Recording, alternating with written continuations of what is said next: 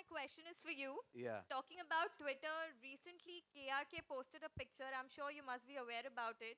That uh, you have. नहीं आ, आपको मैं बोलूँ के ने आज आज खुला मुझे दावा किया है कि अगर हमारी फ़िल्म चल गई तो अपना हथियार काट देंगे हम लोग उनको एक आइस बॉक्स भेज रहे हैं एक खास तौर से एक बहुत खास बना हुआ आइस बॉक्स भेज रहे हैं ताकि हम उनका जो हथियार है यहाँ पे जो म्यूज़ियम ऑफ़ इंडियन सिनेमा आ रहा है उसमें हम प्रिजर्व कर सके कि ये के के जो इंडिया का सबसे इनकॉन्सिक्वेंशियल क्रिटिक है उसका हथियार है। उसको आई थिंक उसके उसके लिए हम लोग अलग से टिकट भी लगाएँगे लोगों को देखने के लिए। तो ये आइस बॉक्स हम उनको भेज रहे हैं।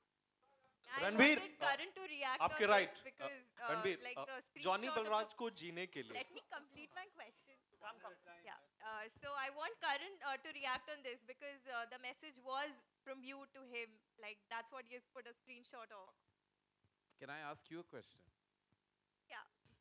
Do you believe I sent him that No, message? of course not. But then I rest my case then.